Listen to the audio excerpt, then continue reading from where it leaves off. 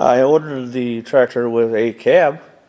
This uh, cab option is close to a $10,000 option. But after weighing the needs and, I guess, wants, I decided that the cab was going to be required when I ordered the tractor. Uh, it's pretty well loaded up. Uh, the 4720 model in particular, John Deere includes a lot of features as standard, which would be optional or dealer installed on the lesser 4000 series. Uh, it includes the air ride seat. Uh, also, it includes the rear wiper and rear lights as part of the 4720 package. Options I did add include uh, the uh, rear view mirrors, which I find to be quite handy. Not necessarily for looking behind you, but for looking back and down at the implement you are towing. Uh, when I was using the dirt mover, those things were quite handy, so you don't have to look around quite so much. The cab is not very huge. It can't be with a utility-sized tractor. But one person fits in there quite nicely. Uh, you really can't have any riders though. It's just not big enough. Maybe a small child, but uh, I, I, guess I would say that's probably a stretch. The uh, cab is equipped with the heat and air as part of the cab package, so that's not an option. And uh, the heat and air does work uh, fairly well. I've had this thing out on 90 degree days and high humidity, and it does a wonderful job of keeping things cool. And I've also had it out in the wintertime, and it does a nice job of, of uh, heating and uh, defrosting the windows. Uh, with the snowblower running, it tends to blow snow all over you, and it kept the uh, snow melted off the windows pretty quickly. Uh, it does include a dome light, which in this case I have turned off. It, it does have a switch position if I so desire. There's also a sun visor attachment and a smaller view mirror, which is uh, kind of handy, but not so much. The uh, dashboard is uh, pretty well complete. It does have your tachometer and your fuel gauge and a temperature gauge. Everything else is idiot lights, but it also does have that uh, the screen at the bottom, which you can call up more functions and features such as speeds, hours, PTO speeds, all kinds of stuff. Uh, also lights for practically every feature you have. Uh, I would say the dashboard is fine, no issues with that. On the left hand side there is the optional speed match switch, or well, uh, motion match. The idea behind this feature, the hydrostat is computer controlled.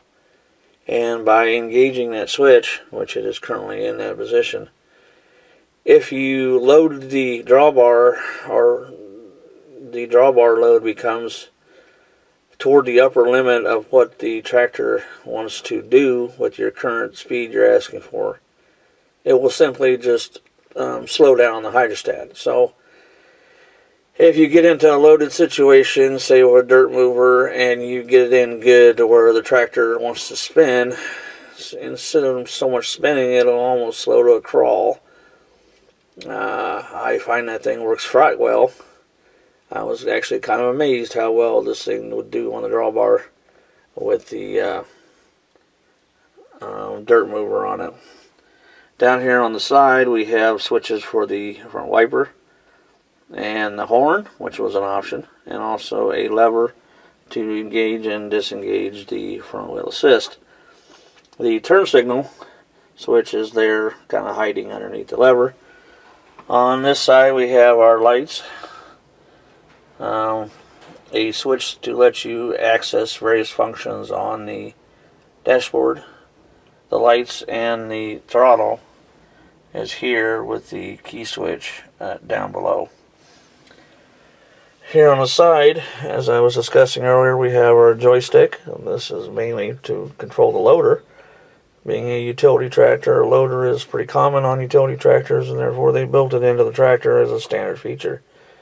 This particular one has been equipped with that third function switch in which they pop out a little cover and install a switch there. So using this, I'm able to totally control things like that front blade with these.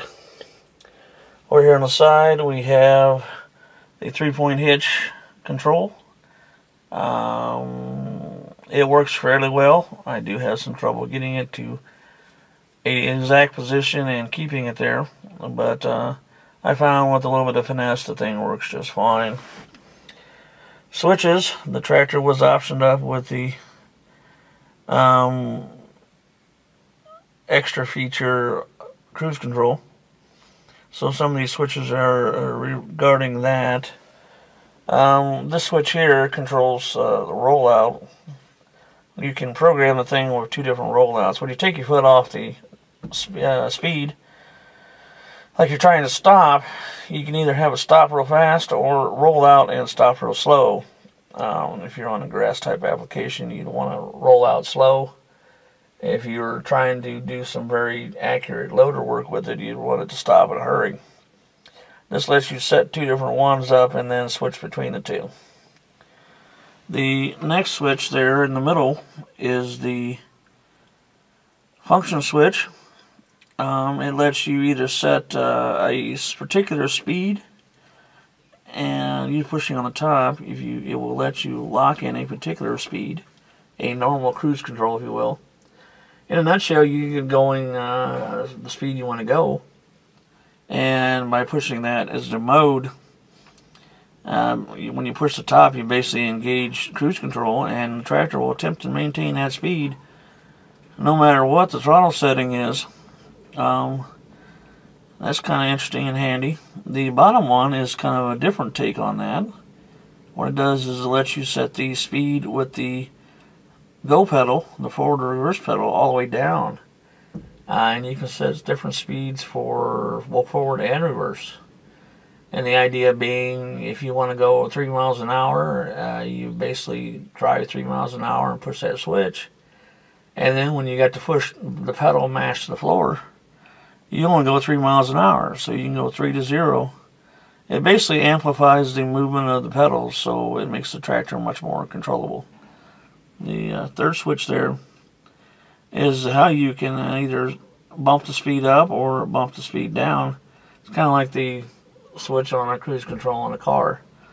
Um, I find the thing works uh, quite well, and uh, am, am thrilled that it makes the tractor much more controllable as far as being able to do uh, various things with it.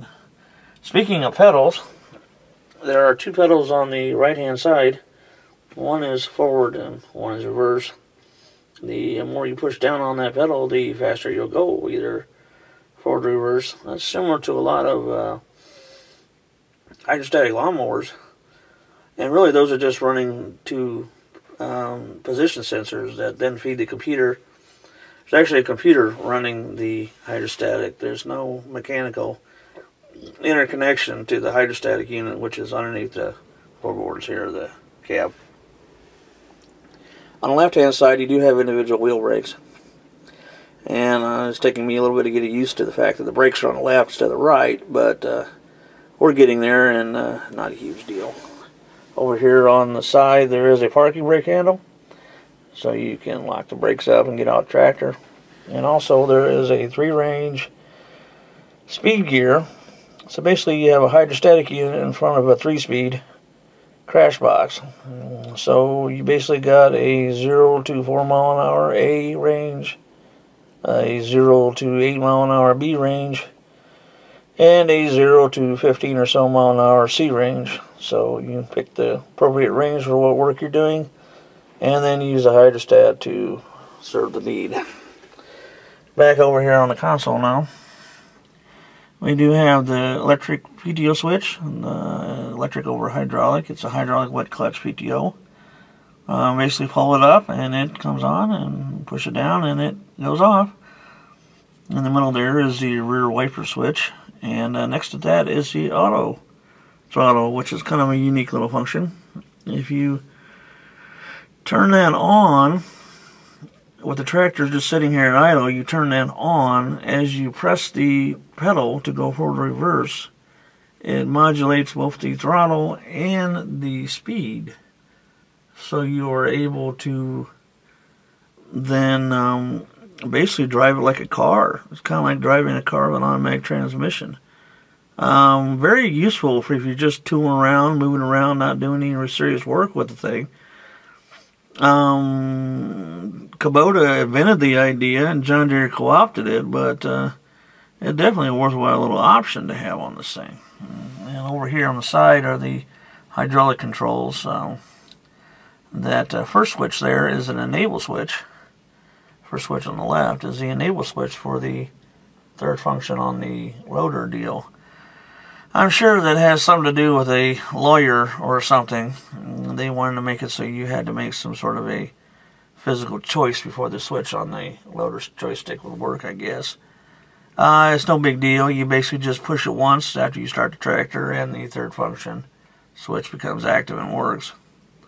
The uh, second switch there is the hydraulic diverter for the loader. Um, you basically with it off um, the loader functions as normal through the joystick and if you push the top there it lights the light a little red light there behind the gear. And now the hydraulics are all routed to the rear outlets on the tractor. So uh, works just fine and no issues really.